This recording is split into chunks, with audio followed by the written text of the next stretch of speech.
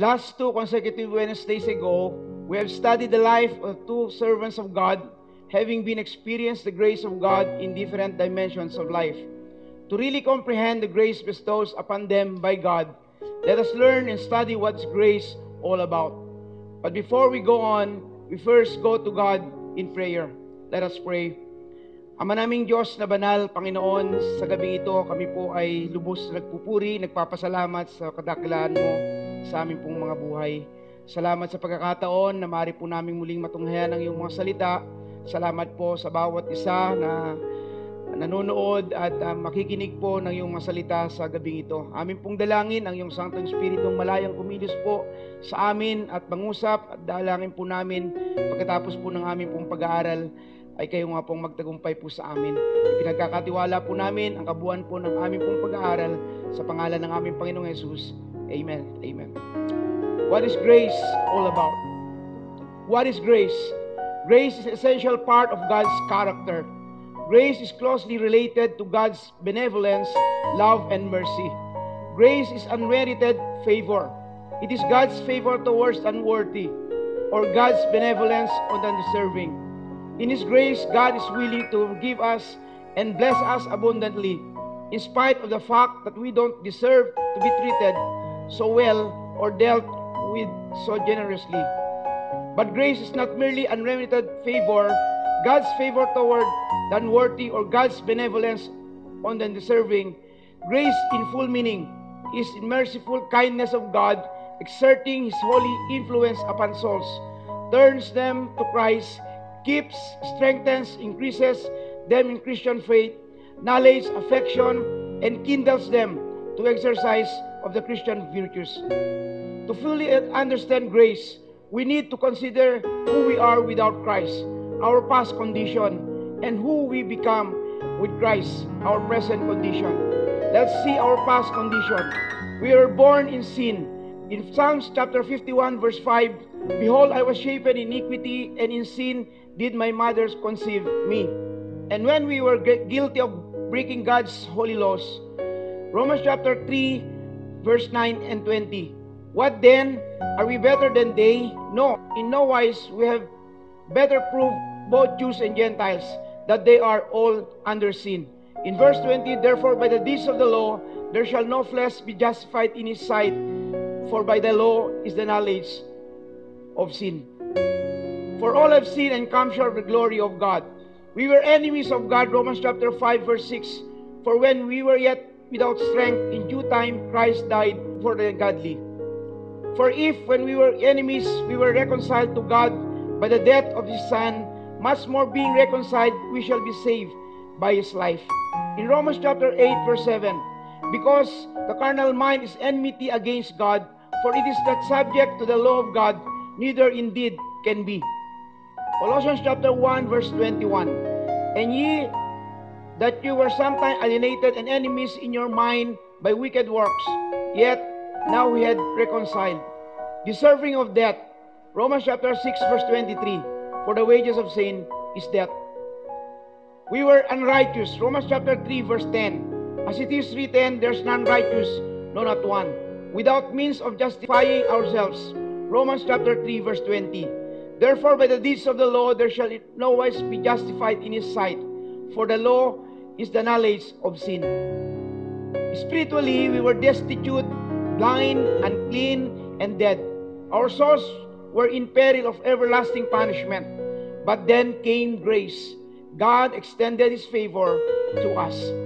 Now here comes our present condition. Grace is what saved us. In Ephesians chapter 2, verse 8, For by grace are ye saved through faith, and not of yourselves. It is the gift of God. In Titus chapter 2 verse 11, For the grace of God that bringeth salvation hath appeared to all men. Grace of God is what justifies us. Romans chapter 3 verse 24, Being justified freely by His grace through the redemption that is in Christ Jesus.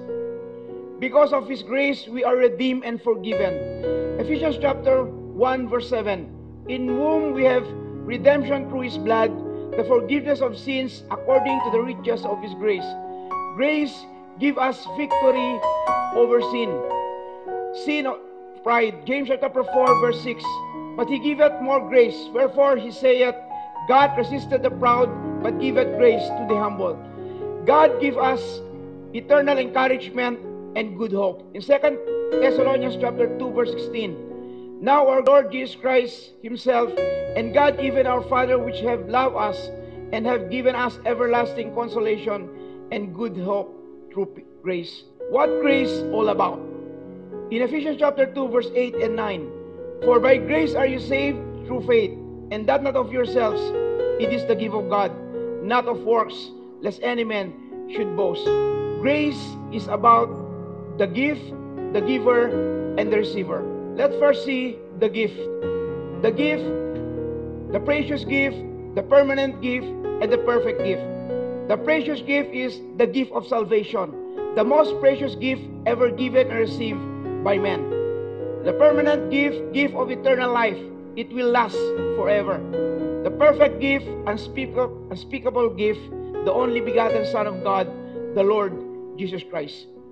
The Bible repeatedly calls grace a gift. This is an important analogy because it teaches us some key things about grace. In Ephesians chapter 4, verse 7, But unto every one of us is given grace according to the measure of the gift of Christ. First, anyone who has ever received a gift understand that a gift is much different from a loan, which requires repayment or return by recipient. For the fact that grace is a gift means that nothing is owed in return. Second, there is no cost of person who receives the gift. A gift is free to the recipient, although it is not free to the giver who bears the expense. The gift of salvation costs us sinners nothing, but the price of such an extravagant gift came at a great cost for our Lord Jesus Christ, who died in our place. Third, once a gift has been given, ownership the gift has transferred and is now ours to keep. There's a permanence in the gift that does not exist with loans or advances. When a gift changes hands, the giver permanently relinquishes all rights to renege and take back the gift in future. God's grace is ours forever. Fourth, in the giving of a gift, the giver voluntarily forfeits something he owns, willingly los- losing what belongs to him so that the recipient will profit from it. The giver becomes poorer, so the recipient came become richer. This generation and voluntary exchange from the giver to the recipient is visible. In 2 Corinthians chapter 8, verse 9, For you know that the grace of our Lord Jesus Christ, that though he was rich, yet for your sakes he became poor, that you through his poverty might be rich. Finally, the Bible teaches us that grace is completely unmerited. The gift and the act of giving have nothing at all to do with our merit or innate quality. In Romans chapter 4, verse 4, Now to him that worketh is the reward that reckon of grace, but of debt. In Romans chapter 11, 5 to 6, Even so that at this present time the remnant according to the election of grace, and if grace, that is no more works. Otherwise, grace is no more grace. But it is of works, then it is no more grace. Otherwise, work is no more work. But in fact, the Bible says quietly, clearly that we don't deserve God's salvation. In Romans chapter 5, 8 to 10 says, But God commended His love toward us in that while we were yet sinners, Christ died for us. Much more than being now justified by His blood, we shall be saved from the wrath through Him. In verse 10, For if we were enemies, we were reconciled to God by the death of His Son. So much more being reconciled, we shall be saved by His life. Next, the giver. God Himself, the great God, the great giver.